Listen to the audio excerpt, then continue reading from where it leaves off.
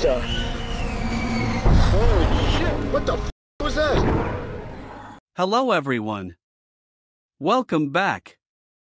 In this video, we're going to learn English with Top Gun Maverick. Let's begin. You son of a bitch! Come on! I'm cool. I'm cool. Hey, hey, hey, hey, hey. That's enough. He's not cut out for this mission. It's enough. You know it. You son bitch! Come on! I'm cool. I'm cool. Hey, hey, hey, hey, hey. That's enough. He's not cut out for this mission. It's enough. You know it. The phrase to be cut out for something means to have the necessary qualities and skills for a particular task, role, or activity. This phrase is often used in questions or negative forms. Examples She attempted ballet but quickly realized she wasn't cut out for it. Is he cut out for a leadership position? You must be in a lot of trouble. No way you'd come back here willingly. Well, we'll start it out. You must be in a lot of trouble. No way you'd come back here willingly. Well, we'll start it out. The phrasal verb sort something out means to successfully deal with or manage a situation or problem. It's important to note that this is a separable phrasal verb. Now, here are a couple of examples. I need to sort out this plumbing problem before it gets worse. He quickly sorted out the misunderstanding with his colleague. You see me now? Come on, let's get it over with. Fights on!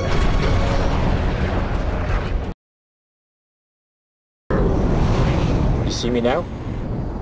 Come on, let's get it over with. Fights on!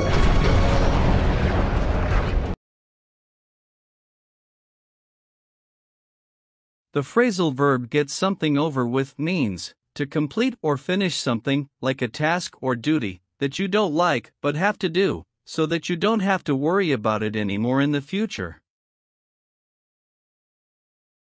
Examples I have to make that phone call and get it over with. I have a big test tomorrow, and I just want to get it over with.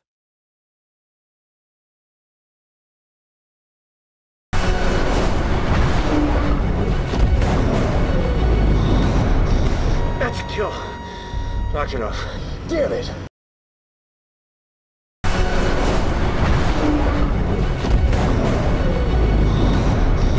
That's a kill.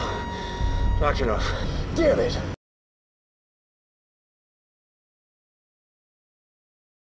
The phrasal verb knock off has multiple meanings depending on the context, including to stop working, to steal something, etc.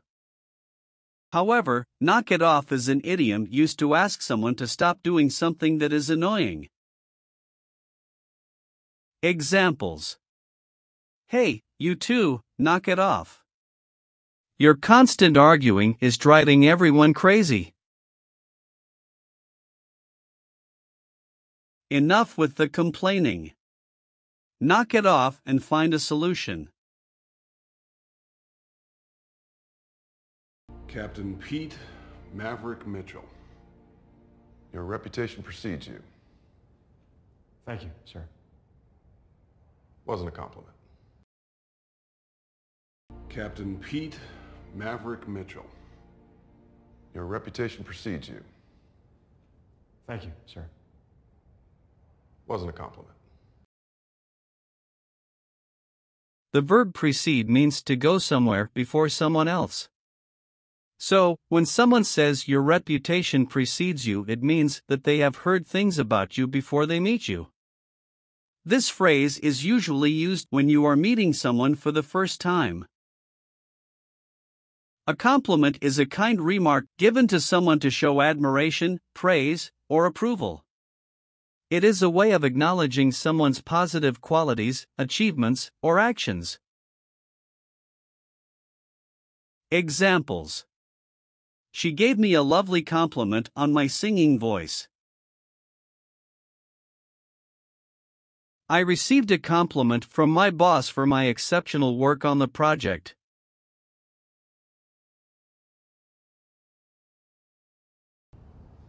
With all due respect, sir, I'm not a teacher. You were a Top Gun instructor before. That was almost 30 years ago. I lasted two months. It's not where I belong. With all due respect, sir, I'm not a teacher. You were a Top Gun instructor before. That was almost 30 years ago. I lasted two months. It's not where I belong.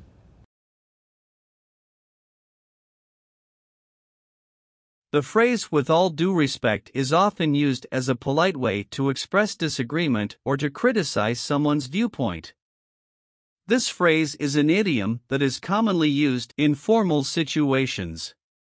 Examples With all due respect, that's not entirely accurate.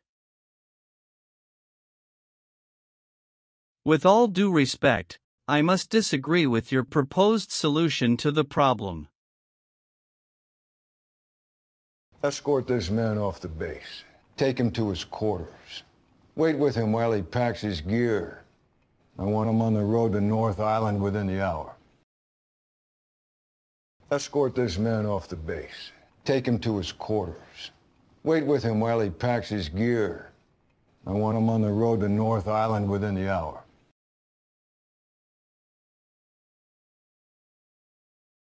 Gear can refer to clothing, equipment, or tools used for a particular activity.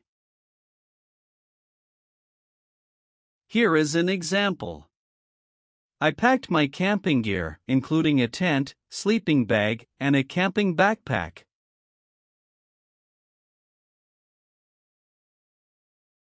Quarters is a plural noun that refers to the places where people live, especially in a military or institutional setting.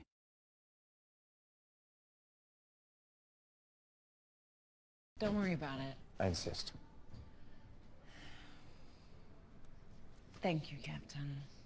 Consider your tab closed. Don't worry about it. I insist. Thank you, Captain. Consider your tab closed.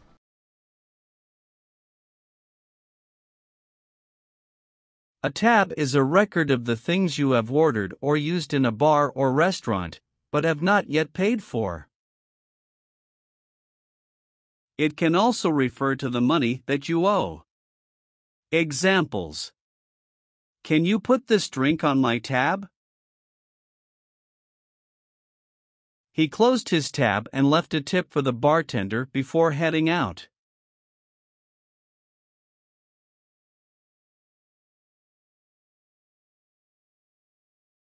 Thank you for watching this video. Make sure to subscribe to my channel for more exciting videos. Goodbye and take care.